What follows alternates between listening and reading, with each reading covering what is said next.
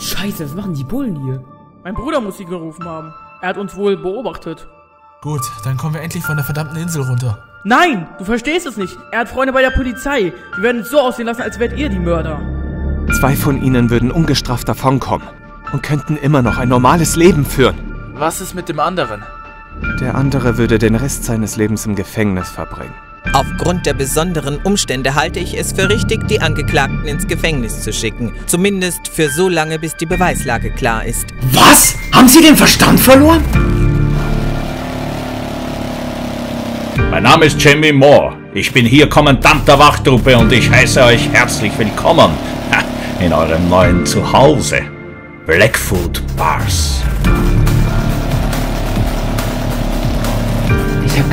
Die erste Nacht im Gefängnis soll die schlimmste sein.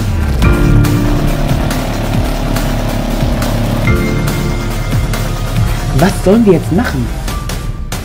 Da uns das Gesetz im Stich gelassen hat, haben wir keine andere Wahl.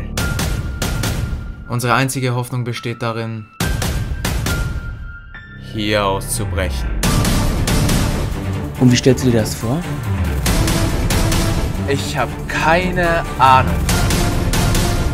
Es muss doch irgendeine Lösung geben. Ab jetzt noch sechs Tage.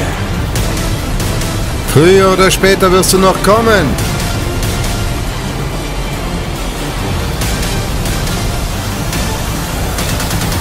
Dein anderer Bruder, ich glaube. Romeo war sein Name? Ja. Ich möchte, dass du ihn beseitigst. Er weiß einfach zu viel.